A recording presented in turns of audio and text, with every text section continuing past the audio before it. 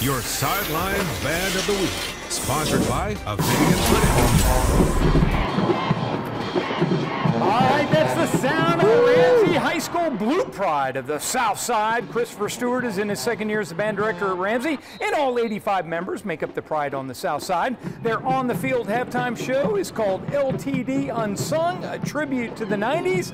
You gotta like it, Jay. Performance includes songs like Holding On, Back in Love, Love Ballad, and Salt-N-Pepa's, Push It. Push it real good. The Blue Pride score superior ratings and this year won the Grand Champion Award for Birmingham City Schools at the All City Marching Festival. The Sideline Band of the Week is the Ramsay High School Blue Pride of the South Side.